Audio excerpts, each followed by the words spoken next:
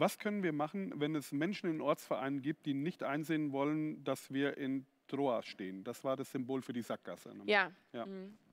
Beten. äh, also, dass Jesus ihnen zeigt und ja, es ist immer schwierig, ne? Also wie, wie gehen wir, die wir was, also die, wie gehen die, die was Neues wollen, mit denen um, die, die das Alte lieben? Und wir können ja nicht das Neue wollen, nur um des Neuen willen, sondern es kann nur sein, wenn, ne, wenn der Herr uns ruft, dann gehen wir nach Mazedonien.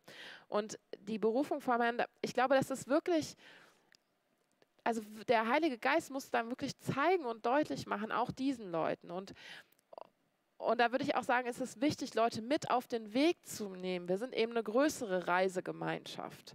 Ähm, und, und da einfach nur nach vorne zu preschen, ganz egal, was die anderen denken und wie verletzt sie dann zurückbleiben, kann es irgendwie auch nicht sein. So, ne? Mhm. Aber boah, das finde ich wirklich eine schwierige Frage. Das ist ein Ring und das kann ja auch total frustrierend sein, ne? dass man da in Troas hockt und schon weiß, eigentlich geht es nach Mazedonien, aber der Rest äh, zieht mich noch so. Ne?